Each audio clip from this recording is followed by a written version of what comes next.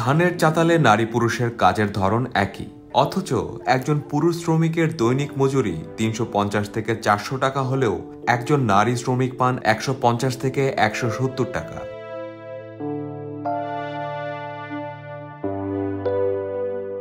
লালমনিরহাট ও কুড়িগ্রামের চোদ্দটি উপজেলায় কর্মসংস্থানের খুব একটা সুযোগ না থাকায় অনেক নারী বাধ্য হয়ে কম মজুরিতে কাজ করছেন চাতালগুলোতে।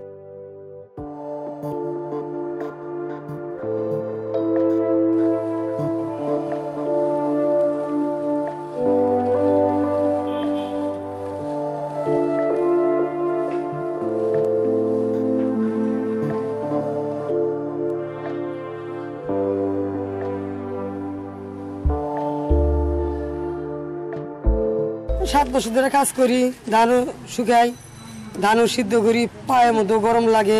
অনেক কাজ ইয়ে করি টাকা নেওয়া নাগে কোনোদিন এমন আছে পঞ্চাশ টাকাও দেয়। এমন আছে বৃষ্টি নামলে সারাদিন বসে দিয়ে এমনিও বিদিয়ে দেয়।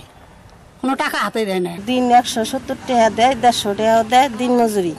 এদিনে টাকা দিয়ে পোলা পানো লেখাপড়া করাইতে পারি না সংসারও চালাতে পারি না। দেড়শো টাকা কাজ করি আমাদের এই কাজে তো আমাদের কোনো মনে মজুরি হয় না।